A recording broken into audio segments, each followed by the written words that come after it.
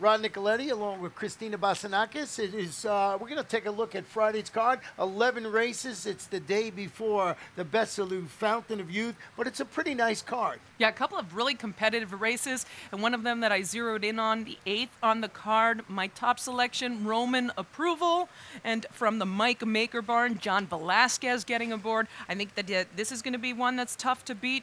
And what about the ninth race? Uh, a little uh, sneaky horse I like, number two, like a charm and so ultra consistent and trying to go one better than her latest start. That's in the ninth race, but so many ways to go.